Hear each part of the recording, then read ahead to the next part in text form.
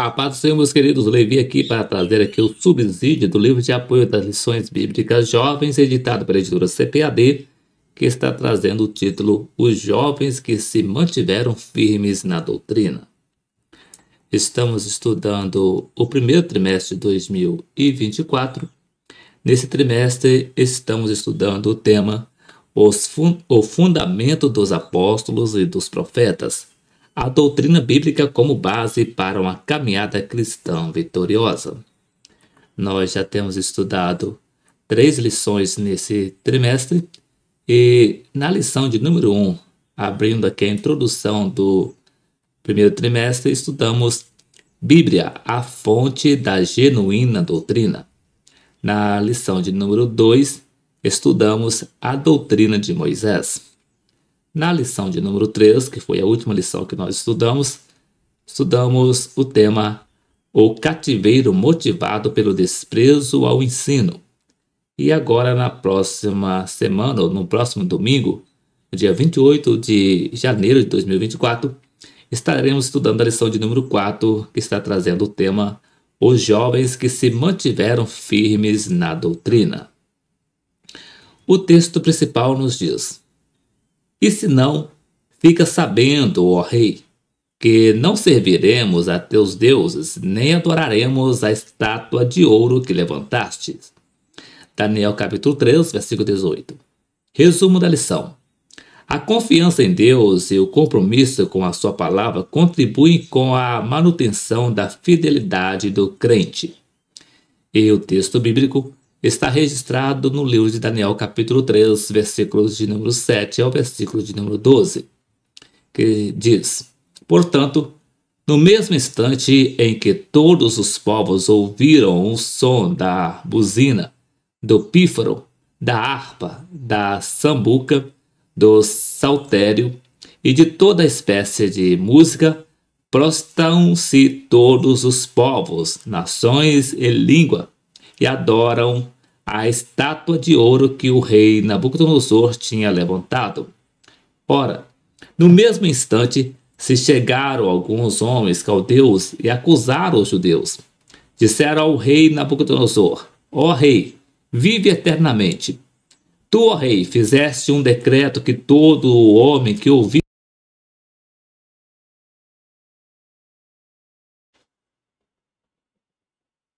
Tu, ó rei, fizeste um decreto que todo homem que ouvir o som da corneta, da flauta, da harpa, da sacabucha, do saltério, da sinfonia e de toda sorte de música se prostrasse e adorasse a imagem de ouro. Todo aquele que não se prostrar a adorar seja lançado no meio da fornalha de fogo ardente.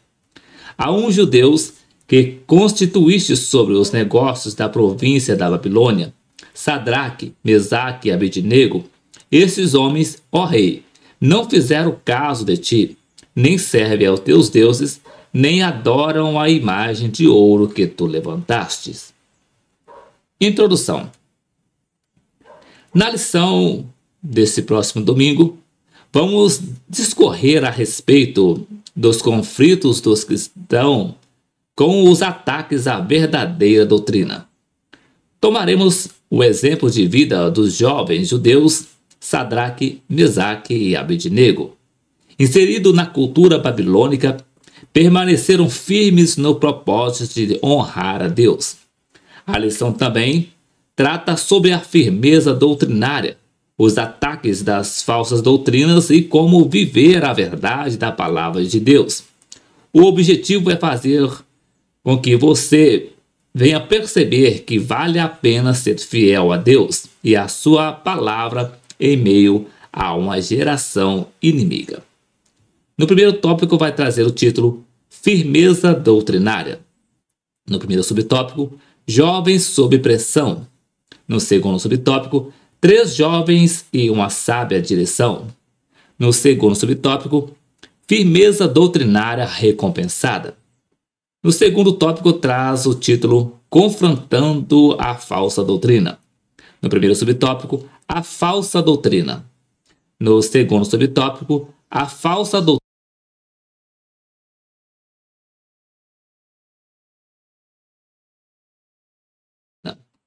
No terceiro tópico, traz o título Vivendo a Verdadeira Doutrina. No primeiro subtópico, a verdadeira doutrina. No segundo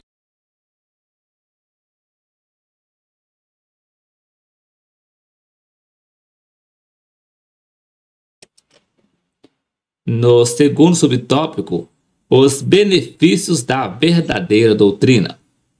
No terceiro subtópico, vivendo a verdadeira doutrina. Vindo para o livro de apoio, no capítulo de número 4, que está trazendo o tema Os jovens que se mantiveram firmes na doutrina nos dias. Ainda com um olhar numa perspectiva histórica, essa jornada bíblica sobre o valor da doutrina cristã passa a analisar esse tema a partir dos exemplos de três importantes e conhecidos jovens: Ananias, que tinha por nome Sadraque, Misael, por Mesaque, e Azarias, por que tinha o nome de Abednego, que com o auxílio divino alcançar o êxodo na tarefa de manter a fé intacta em meio a uma geração perversa e contrária a Deus e aos seus princípios.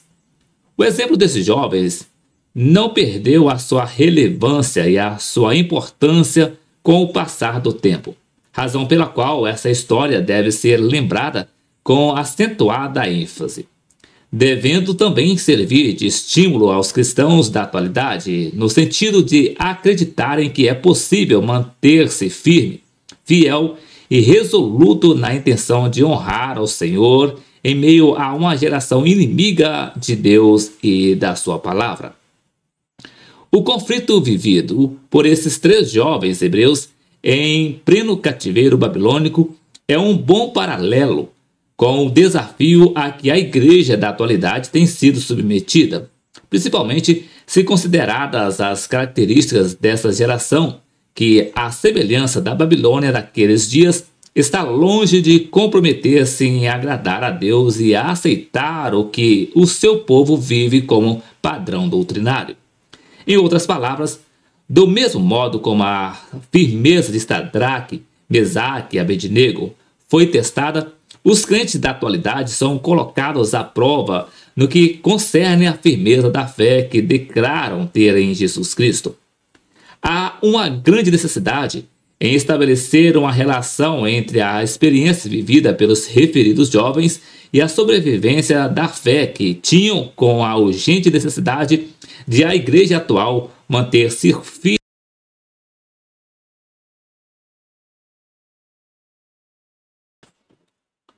Há uma grande necessidade em estabelecer uma relação entre a experiência vivida pelos referidos jovens e a sobrevivência da fé que tinham com a urgência a necessidade de a igreja atual manter-se firme do ponto de vista doutrinário e de fé, por duas razões principais.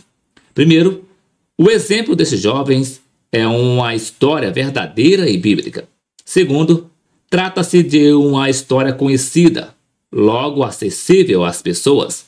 E terceiro, a realidade do conflito que esses jovens enfrentaram é de extrema relevância na atualidade, pois a realidade babilônica daqueles dias assemelha-se em muitos aspectos a características atuais, muito especialmente na indiferença em relação a Deus e a sua palavra. Primeiro tópico: firmeza doutrinária.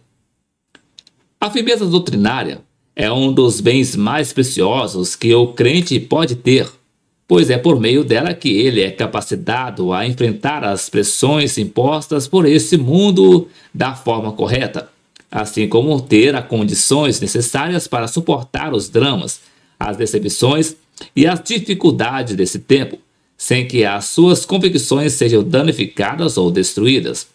Também é preciso destacar que a firmeza doutrinária do crente só pode ser realmente conhecida diante das pressões deste mundo e por isso esse ponto volta-se para Sadraque, Mesaque e Abednego, pois a experiência que viveram, além de reafirmar essa verdade. Primeiro subtópico: Jovens sob pressão. Do ponto de vista histórico, poucos cenários assemelham-se tanto ao atual em que o da Babilônia dos dias de Daniel e dos seus amigos Ananias, Misael e Azarias, principalmente quando se refere ao que sofrem ataques por causa da fé que têm em Deus e na sua palavra. A atenção que esses jovens têm recebido não se restringe apenas à dimensão de referenciais a serem seguidos, mas também como servos de Deus resistentes na sua fé diante de tão grandes pressões a que foram submetidos. A profundidade das raízes da fé desses jovens tornou-se conhecida diante dos ventos que sopraram contra eles, que ainda assim decidiram manter-se firmados nos princípios do Senhor. Embora haja uma tendência em atribuir apenas a Daniel a decisão de não se contaminar com as iguarias da Babilônia, os seus companheiros também estiveram juntos nesse mesmo compromisso, conforme vemos em Daniel capítulo 1, versículo 11 a 20.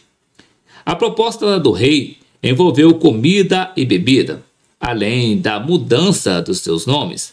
No entanto, o propósito do rei estava além de oferecer boa refeição e novos nomes aos jovens hebreus. Atende para, atente para as seguintes verdades. Primeiro, o ato de comer e beber está relacionado com o compartilhar e o comungar o que implica, na verdade, de que o rei, em algum nível, estava convidando os jovens hebreus a alinhar, a, a, aliançarem-se com ele. Segundo, certamente o rei comia e bebia do que tinha de melhor na Babilônia, e os jovens tiveram a mesma oportunidade, o que implicaria em colocar-se acima dos demais. E terceiro, a mudança dos nomes foi uma grande estratégia de desvinculação dos, das origens desses jovens, conforme se verá na próxima sessão. Desde que chegaram à Babilônia, Daniel, Ananias, Misael e Azarias sofreram as mais diferentes e tensas pressões, e cada vitória alcançada servia-lhes de preparo para outras provas maiores, embora Deus tenha os feitos vencedores sobre todas elas. Segundo subtópico: Três jovens e uma sábia direção. Certamente, ao escrever em Hebreus no capítulo 11, versículo 34, a respeito de alguns que apagaram a força do fogo, o escritor dessa carta estava, em parte, referindo-se a Sadraque, Mesaque e Abednego. Aliás, é impossível não pensar na nobre e corajosa atitude desses jovens no enfrentamento do fogo a fim de manterem-se fiéis ao Senhor. Entretanto, a decisão de arriscar a própria vida como demonstração de firmeza, de fé, não é uma tarefa de um dia apenas, mas sim fruto de uma série de boas e corretas decisões ao longo de toda uma vida com Deus. Todas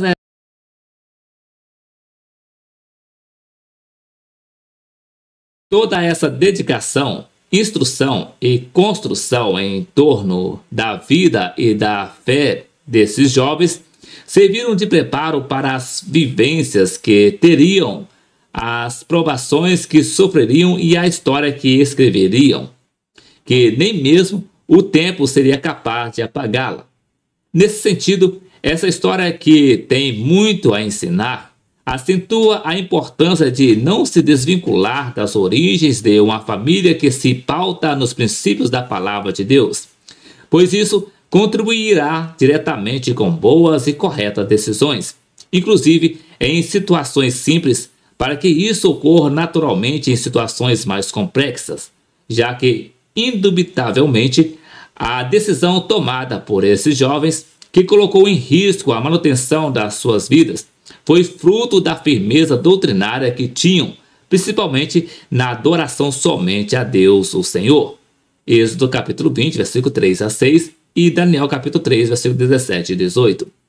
Toda a formação que tiveram as fundamentações doutrinárias que receberam e as boas relações e decisões que tomaram ao longo de, da vida contribuíram diretamente para que Sadraque, Mesaque e Abednego pudessem, no momento mais difícil da vida, tomassem a decisão de não se renderem ante a estátua do rei da Babilônia, com vista a honrarem a Deus.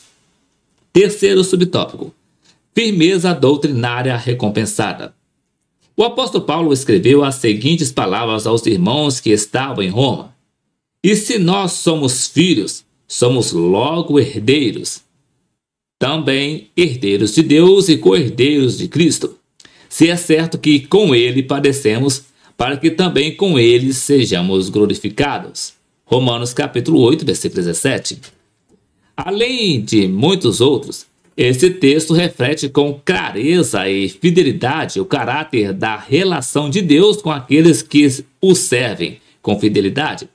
Pois, embora a caminhada cristã seja marcada por grandes e inúmeros desafios, também é pautada na esperança da recompensa, tanto nessa vida como na vindoura. Marcos capítulo 10, versículo 29 e 30. Esse mesmo princípio é notoriamente percebido na história dos jovens hebreus, já que foram testados, provados e aprovados, mas foram recompensados pelo próprio Deus.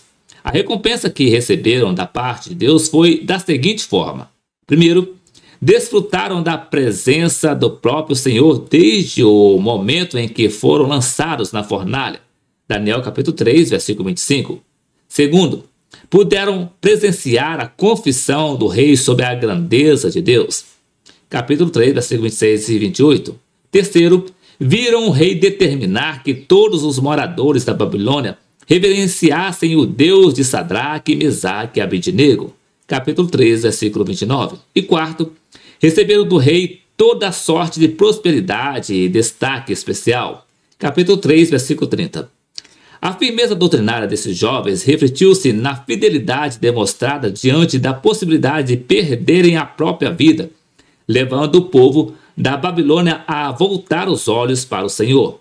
A atitude de Sadraque, Mesaque e Abednego foi resultado da fé que tinham afinal tinham Afinal de contas, como bem explica é, Place, a verdadeira fé não está ligada às circunstâncias nem a consequências.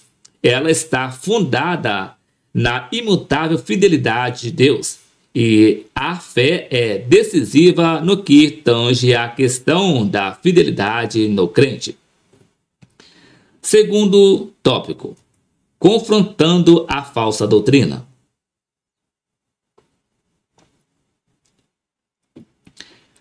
Assim como os jovens hebreus foram testados e a fé que tinham em Deus foi provada, os crentes na atualidade também sofrem pressões das mais variadas, muito especialmente no que diz respeito à manifestação de falsas doutrinas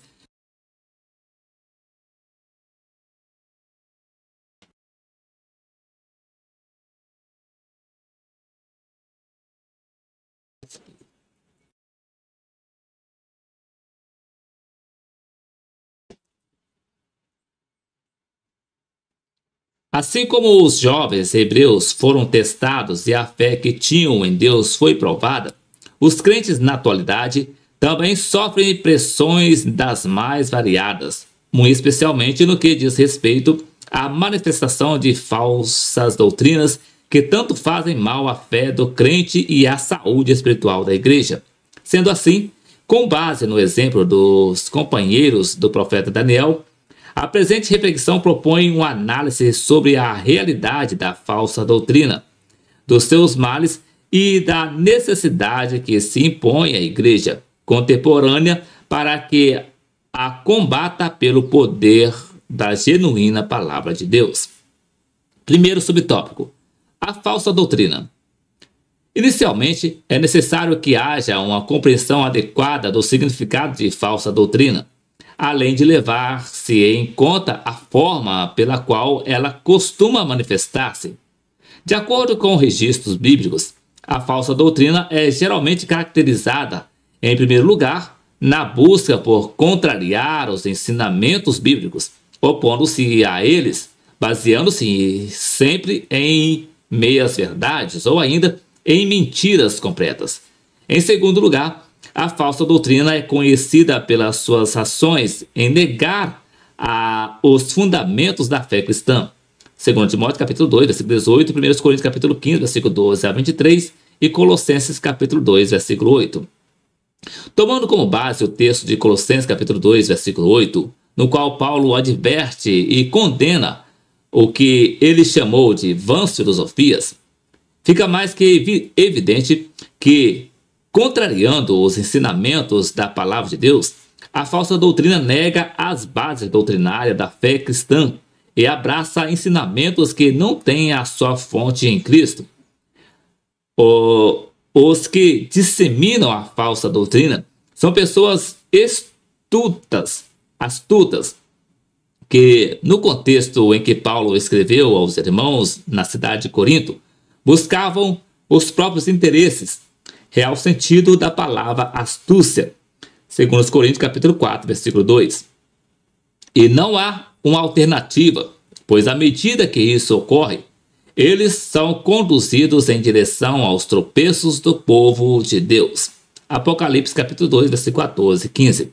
É preciso fazer um alerta no sentido de notar que os referidos tropeços, aos quais os, os falsos mestres conduzem os que decidem segui-los, resultam da normatização, da normalização e da valorização dos interesses pessoais em detrimento aos interesses espirituais. Hebreus capítulo 13, versículo 9.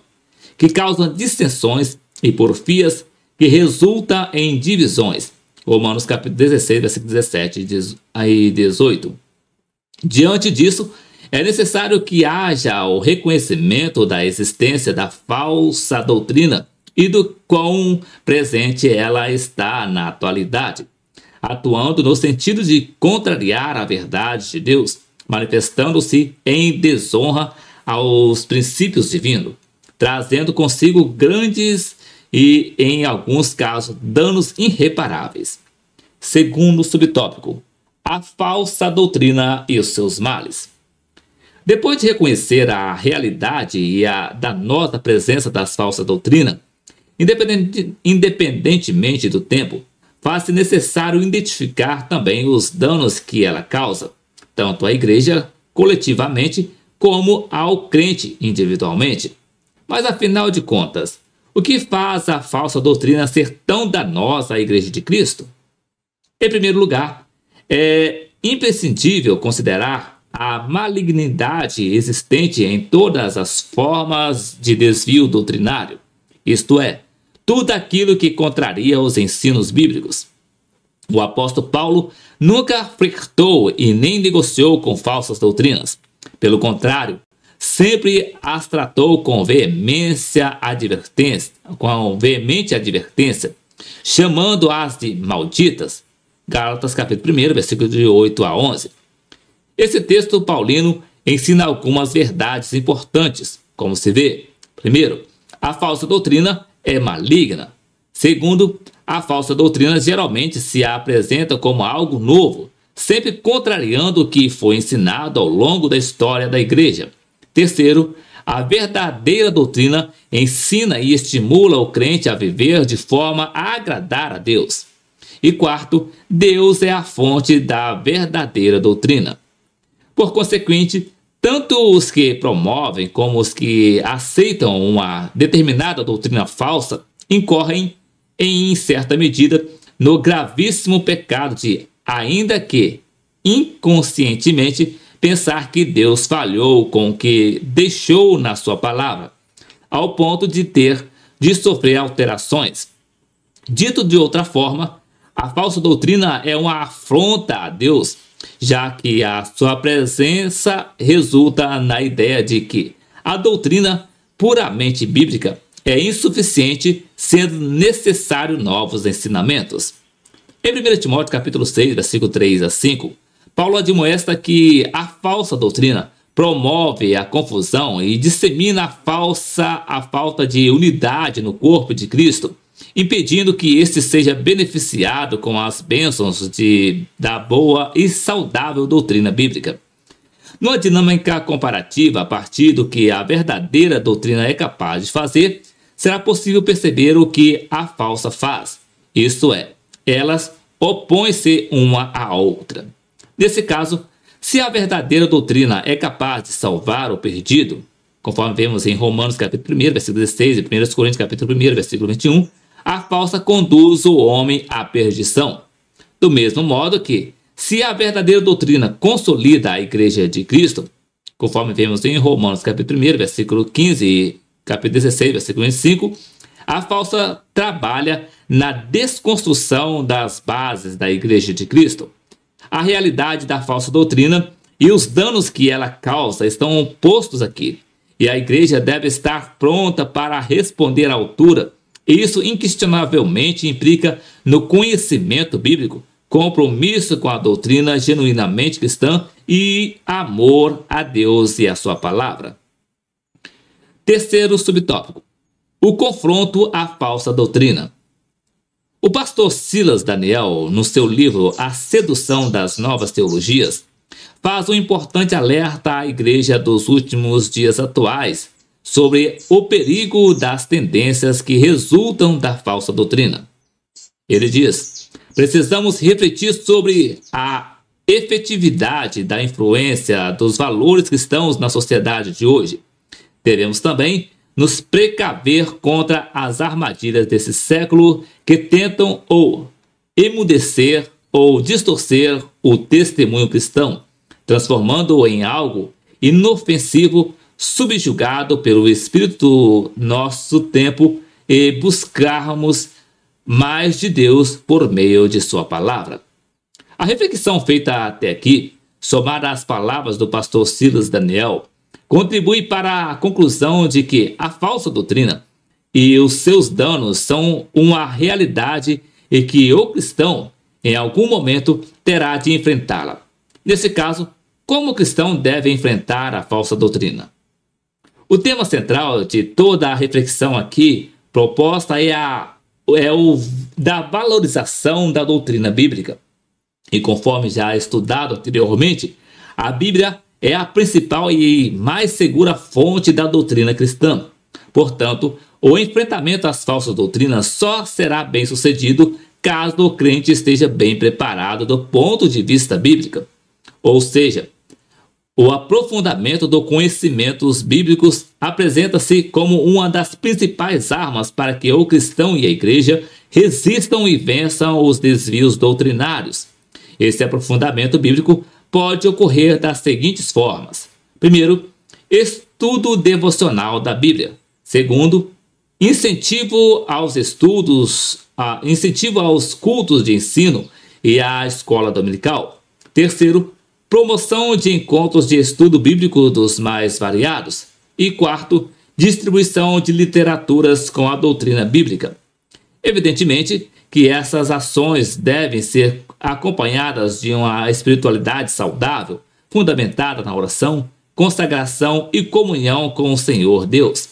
Além disso, destaque-se também que a unidade doutrinária da Igreja ocupa papel fundamental no confronto às falsas doutrinas. Haja vista que ela oferece clareza e firmeza quanto ao que o crente deve crer em tempos adversos. A divisão de entendimento e de crença traz danos terríveis à igreja. Paulo lamentou a forma como a igreja em Corinto estava lidando com a celebração da ceia, conforme vemos em 1 Coríntios capítulo 11, versículo 18. Por essa razão, o apóstolo, ao escrever à igreja em Éfeso, enfatizou veementemente que enfatizou veementemente sobre a unidade, inclusive a doutrina. Efésios capítulo 4, versículo 3 a 6. Portanto, a forma mais segura e eficaz que a igreja tem de confrontar as falsas doutrinas é fortalecendo a unidade doutrinária, cumprindo assim o desejo de Jesus, demonstrando na, demonstrado na sua oração, para que todos sejam um. João capítulo 17, versículo 21.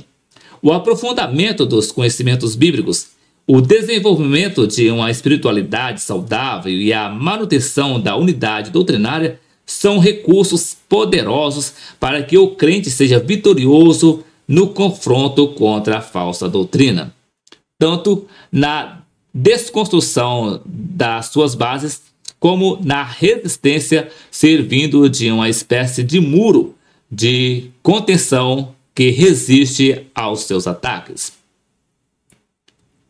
Terceiro tópico: vivendo a verdadeira doutrina.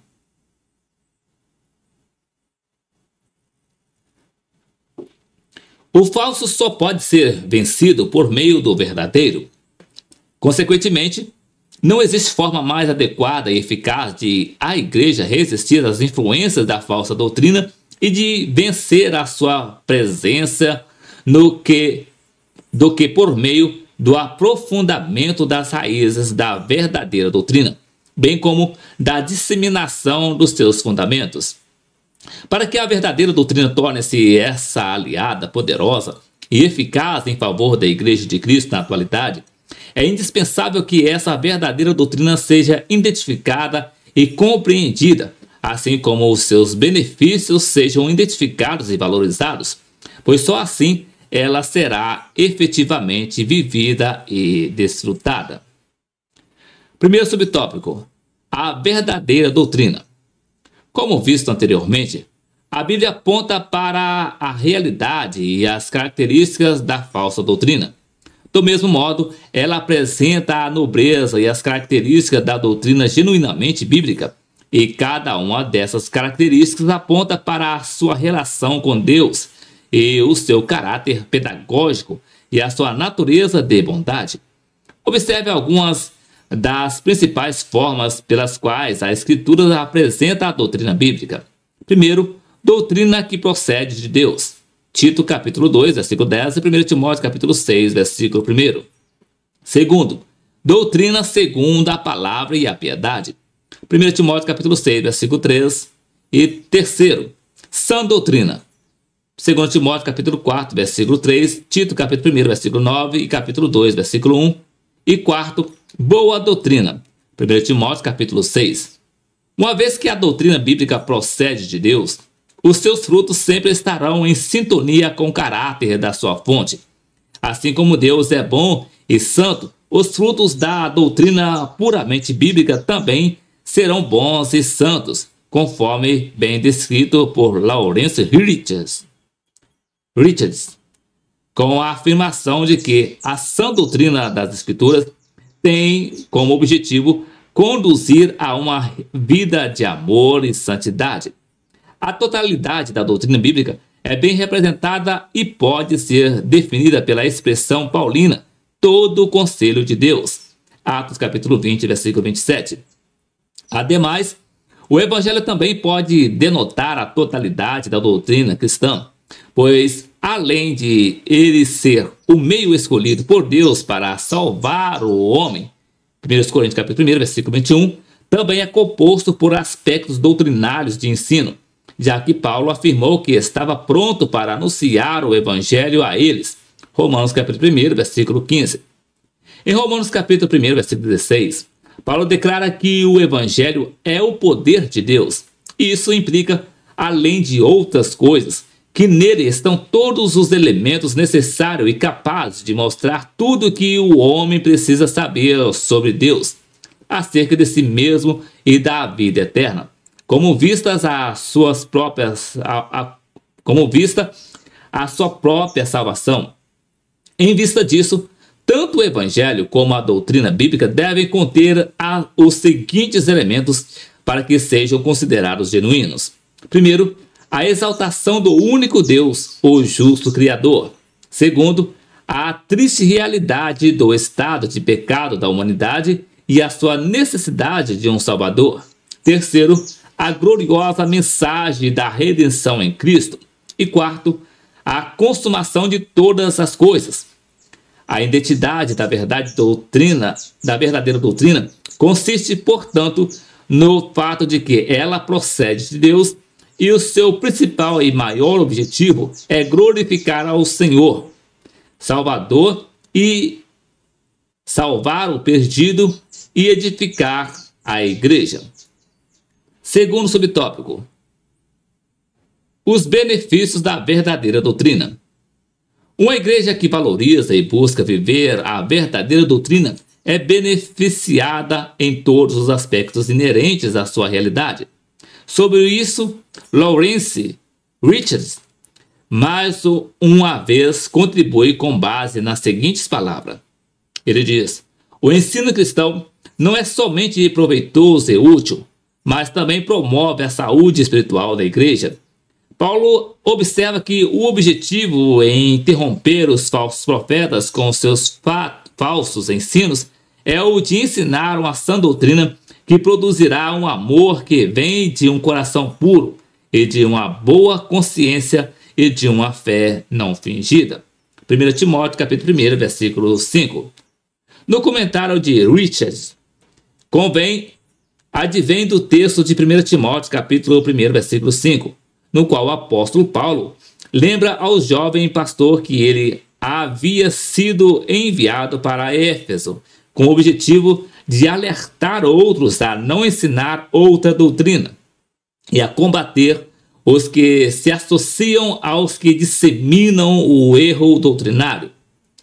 Entretanto, além disso, Timóteo também foi orientado pelo apóstolo dos gentios acerca do amor que, conforme ele ensina, é o fruto maior e mais precioso da verdadeira doutrina e que emana de um coração puro e de uma boa consciência e de uma fé não fingida. Se por um lado o verdadeiro amor é o fruto maior da genuína doutrina, por outro lado, é essa mesma doutrina bíblica que produz as três características citadas por Paulo nas suas palavras a Timóteo. A respeito dessas características, considere as seguintes verdades. Primeiro, somente Deus pode criar um coração puro no homem. Salmos 51, versículo 10, ou verso 10. Segundo, o sangue de Jesus é o único meio pelo qual a consciência do homem pode ser purificada. Hebreus capítulo 9, versículo 14. E terceiro, a verdadeira fé só pode ser produzida pela palavra de Deus. Romanos capítulo 10, versículo 17. Em suma, a Bíblia também informa que o crente que abraça e permanece firmado na sã doutrina e é por ela encorajado, protegido, Tito capítulo 1, versículo 9. Além de ser alimentado adequadamente pela qualidade desse alimento espiritual. 1 Timóteo capítulo 4, versículos 6 e 7. E por fim, é feito alvo da vida do próprio Deus nele. 2 João, versículo, 19, versículo 9. Terceiro subtópico: Vivendo a verdadeira doutrina.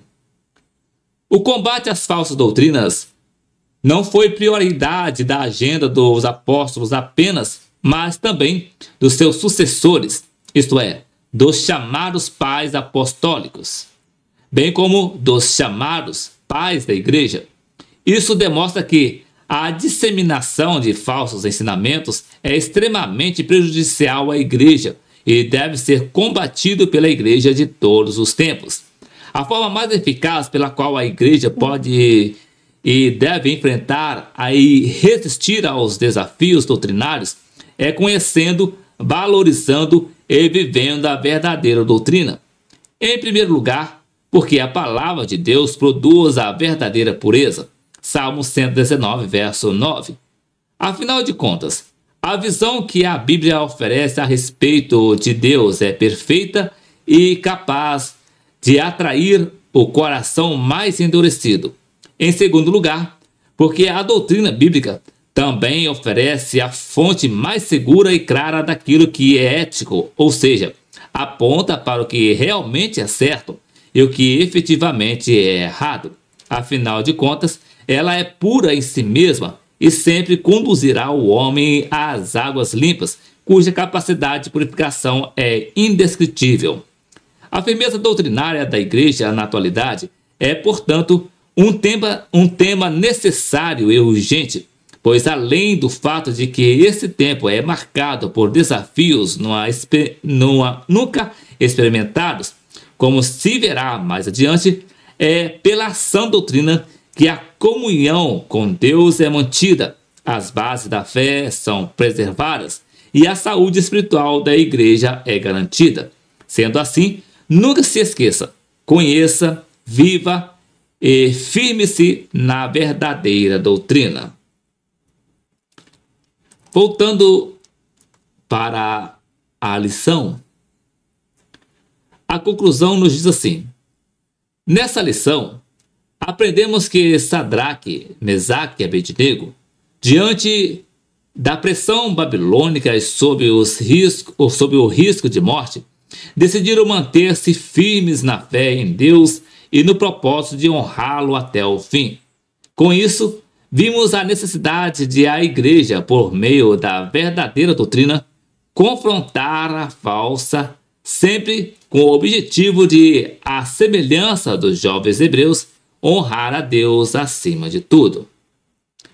Então, meus queridos, esse aqui foi o subsídio do livro de apoio das lições bíblicas jovens, editado pela editora CPAD, lição de número 4, que trouxe o título Os Jovens que se mantiveram firmes na doutrina. Na próxima semana, se o Senhor Jesus nos permitir, regressaremos aqui para deixar aqui o subsídio do livro de apoio das lições bíblicas jovens, lição de número 5, que vai estar trazendo o título As Falsas Doutrinas. Que Deus em Cristo Jesus abençoe a sua vida e até o próximo vídeo, querendo o Senhor Jesus.